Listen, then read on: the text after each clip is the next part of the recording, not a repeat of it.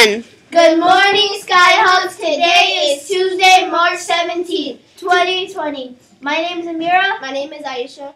Did you know the existence of water is essential for life on Earth? Wow. Wow. Teacher announcements. I am so glad we get to help out for the Uganda Water Walk again.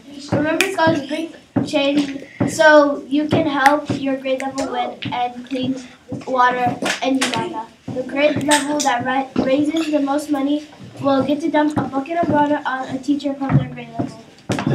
This year is such a memorable year. Yearbooks are now on sale. Order today for the greatest pricing of $25. The last day to buy a book is March 25th. They can be purchased online or with check or cash to Miss Boone. Order form. forms went home in Thursday folders. The class with the most yearbooks sold Get a pizza party. Woo! Thank you. Woo!